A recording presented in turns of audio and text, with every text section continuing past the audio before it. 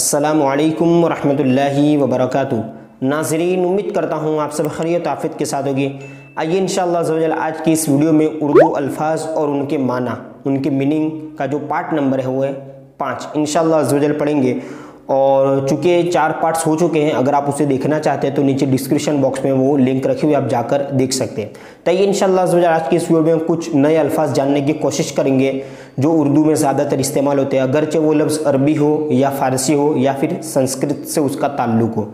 लेकिन इन उसका मान आपको बताया जाएगा और इसके साथ साथ उसका मुतरदिफ लफ्ज़ मुतरदिफ लफ्ज़ मैं आपको पहले भी बता चुका हूँ कि जो अलग अलग अल्फाज हो, लेकिन उसका माना और उसका मीनिंग जो है वो एक ही हो। तो इन वो मुतरदिफ लफ्ज़ भी आपको साथ साथ बताने की कोशिश करूँगा। ताइए आज की वीडियो शुरू करते हैं।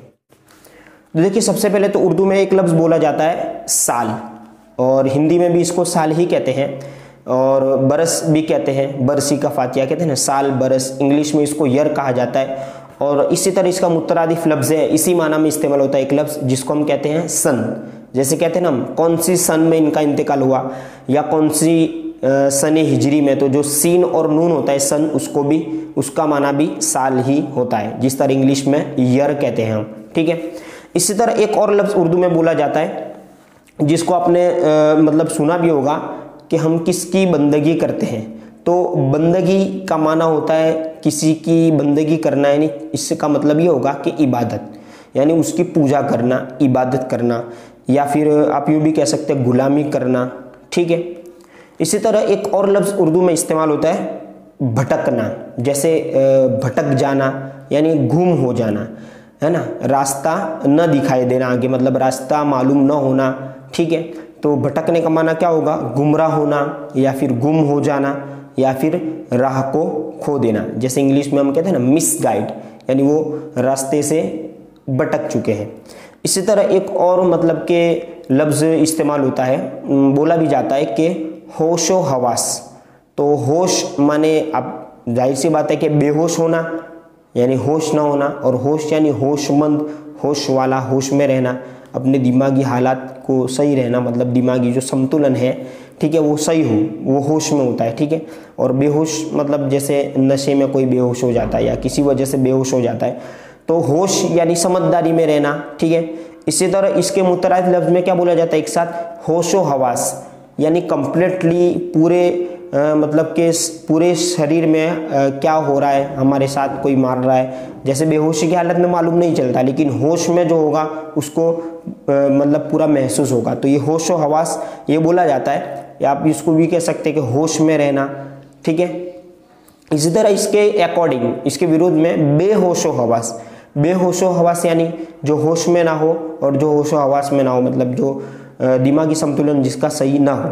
इसी तरह एक और लफ्ज़ बोला जाता है उर्दू में आपने सुना होगा बन बे और नून। बन का माना होता है जंगल ठीक है? इसी तरह एक और लफ्ज़ उर्दू में इस्तेमाल होता है आपने सुना भी होगा कि भाई आप अपना सबक पुख्ता याद करके आना पुख्ता। तो पुख्ता का माना होता है क्या? मज़बूत ठीक है? और इसको एक और लफ्ज़ भी बोला जाता है मुतरादिफ लफ्ज़। क्या है इसका आ, मतलब माना? मज़बूत पक्का पुख्ता है ना? इसी तरह एक और लफ्ज़ बोला जाता है उर्दू में जिसको आपने सुना होगा कि अल्लाह ताला ने शजर को पैदा किया। शजर माने क्या होता है? दरख्त। अब दरख्त ये मुतरादिफ लफ्ज़ है। शजर, दरख्त, इसका माना होगा पेड़। ठीक है? पेड़, हिंदी में। और इंग्लिश में हम क्या बोलते हैं? ट्री। और गुजराती में इसको वनस्पति और झाड़ भी कहा जाता है। इसी तरह एक और लफ्ज़ है उर्दू में, पैकर। पे या काफ रे, पैकर। इसका माना क्या होगा? जिस्म। और एक और मुतरादिफ लफ्ज़ है इसके साथ में इस्तेमाल होता है इसी माना में इस्तेमाल होता है जिसको हम कहते हैं सरापा है ना? सरापा यानी कहते हैं ना कि भाई जिस्म पूरा और सरापा ये भी इस पूरे जिस्म को कहेगा और इसका जो मुतरादिफ लफ्ज़ है वो क्या है? पैकर इसका माना ये होगा ठीक है? इसको आप जहन में आ, मतलब के याद रखने की कोशिश करें। इसी तरह एक और लफ्ज़ आपने सुना होगा मतलब ये तो काफ़ी मशहूर लफ्ज़ है और बोला भी जाता है स्टेट पर तकरीर पर भी बोला जाता है। ठीक है तक, तकरीर में बोला जाता है। क्या है वो लफ्ज़? ताखिर। कि भाई हज़रत को आने में ताखिर हो जाएगी या मुकर्र को आने में ताखिर हो जाएगी। ठीक है तो ताखिर आप देख लीजिए स्क्रीन पर किस तरह लिखा जाता है। ताखिर का मना होता है लेट होना लेट हो जाना। जैसे ताखिर से आने वाले यानी लेट। इसी तरह एक मुतरद बोला जाता है देर से। देर से आने वाले या देरी से। कहते हैं ना कि ट्रेन लेट है या फिर ट्रेन डिले है लेट आने वाली है। तो ये क्या हो जाएगा? ताखिर का माना लेट होना, देरी से आना या देर हो जाना, देरी, ये भी बोल सकते हैं। इसी तरह एक और लफ्ज़ बोला जाता है, तसल्लुत। आप देख लीजिए स्क्रीन पर किस तरह लिखा है? तसल्लुत का माना होता है काबू, है ना? काबू में पाना, ठीक है? और गलबा गलबा यानी इहाते के अंदर जिस पर हम गालिब हो जाए, जिसको घेर लिया जाए, जिस पर गलबा पा लिया, ये गलबा। और इसके साथ साथ एक मुतरादी लफ्ज़ बोला जाता है, जिसको हम इस्तेमाल करते हैं बोलने में, कि कब्जा कर लिया। तो ये तीनों लफ्ज़ का माना यही होगा, ठीक है? काबू, गलबा, कब्जा, घेर लिया, ठीक है? इसी तरह एक और लफ्ज़ बोला जाता है, तारुफ। आपने ये भी सुना होगा कि, आई हज़रत का तारुफ? या फिर, तारुफ के मोहताज नहीं है। इस तरह के अल्फाज इस्तेमाल किए जाते हैं। तो तारुफ का माना होता है पहचान। तारुफ का माना क्या होता है? पहचान, परिचय इंट्रोडक्शन है ना कि हज़रत कहाँ पे रहते हैं, क्या करते हैं, इनके मतलब डेली हॉबीज़ क्या है तारुफ, इसमें पूरा मामला मतलब बता दिया जाता है। और शॉर्ट तारुफ भी होता है, सिर्फ़ नाम वगैरह बता दिया। और एक लॉन्ग तारुफ, लंबा परिचय भी होता है। इसी तरह एक और लफ्ज़ उर्दू में इस्तेमाल होता है कि तिलावत करना। तिलावत करना यानी पढ़ना। जैसे कुरान पाक की तिलावत करना रिसाइट करना, उर्दू की रीडिंग करना तो ये तमाम की अल्फाज जो है कि माना में इस्तेमाल हो गया जैसे तिलावत करना, पढ़ना रीडिंग करना रिसाइटेशन करना, कुरान को पढ़ना, ठीक है? इसी तरह एक और लफ्ज़ बोला जाता है तमद्दुन। तमद्दुन का माना होता है रहना सहना क्या माना होगा? तमद्दुन का रहना सहना। जैसे हम बोलते हैं ना, एक लफ्ज़ आपने सुना होगा, निज़ाम तमद्दुन। कि भाई इनका तो निज़ाम तमद्दुन सही नहीं है। तमद्दुन यानी रहना सहना, और निज़ाम माने, निज़ाम तरीका। तो रहने सहने का तरीका इनका सही नहीं है। तो उर्दू में क्या बोला जाएगा?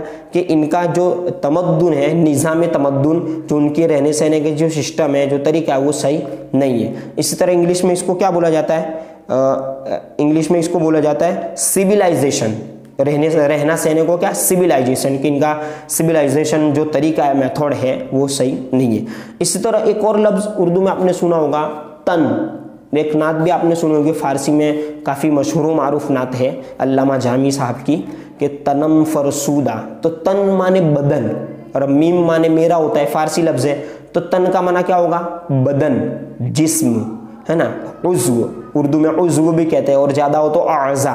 ठीक है? और इंग्लिश में क्या इसको? बॉडी शरीर, ठीक है? अंग, ये सब इस्तेमाल होता है अल्फाज। इसी तरह लास्ट आज का जो हमारा लफ्ज़ है, वो है ज़रा। जाल और रे अलिफ। ज़रा। कहते हैं ना, आप मुझे ज़रा समझा दीजिए। आप मुझे ये चीज़ ज़रा दीजिए। तो ज़रा का माना होता है थोड़ा। ठीक है? थोड़ा यानी कम। इंग्लिश में जिसको हम लेस कहते हैं। अब इन इंशाल्लाह पार्ट नंबर छः में इसी तरह आपके लिए नए नए लफाज लेकर मैं हाजिर होऊँगा अस्सलाम वालेकुम वरहमतुल्लाहि